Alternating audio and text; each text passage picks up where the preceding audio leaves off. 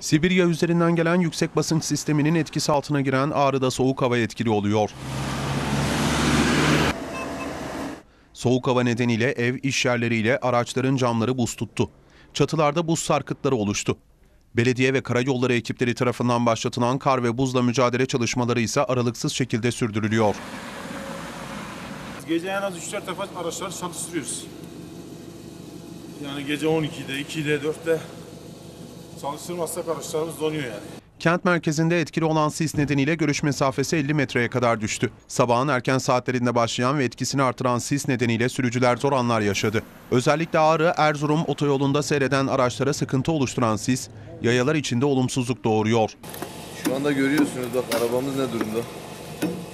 Gösterirse eğer. Yani soğuklar bizi çok etkiliyor. İnşallah şu anda tek umudumuz kar yağması. Kar yağdı mı millet kardan kaçar biz karın yağmasını istiyoruz. Soğuk ve dondurucu hava tüm yurtta olduğu gibi Eskişehir'de de etkisini gösteriyor. Kentte hava sıcaklığı gündüzleri bile eksi derecelerde görülüyor.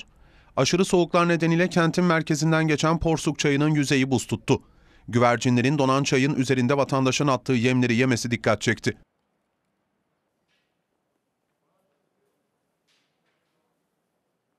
Çıkmıyor soğuk havalarda. İşler de ona rağmen durdu. Yani